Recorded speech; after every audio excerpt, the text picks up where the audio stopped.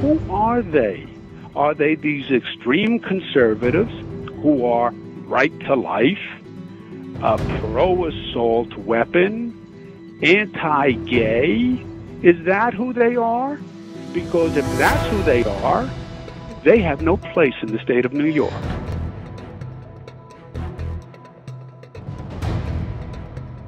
I mean, I think that's really inappropriate, um, especially coming from someone in high authority. You should not be coming out their mouth. Why? If, if you're paying taxes, why would you have to leave? I don't think that's right. No. There should be a place for everybody, and um, you know these these broad, sweeping generalizations. Uh, you know, it's it's an epidemic now, and it's uh, it's as wrong as it can be. I think there's room for everybody in society, and I think that uh, we should have a lot of ideas because that's how society progresses.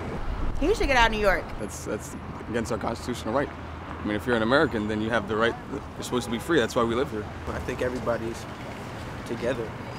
You know, there shouldn't be a place just Republican or whatever.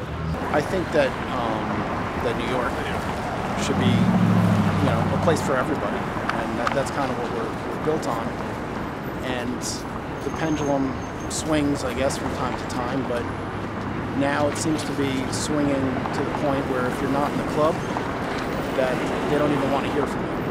And I'm not interested in being quiet.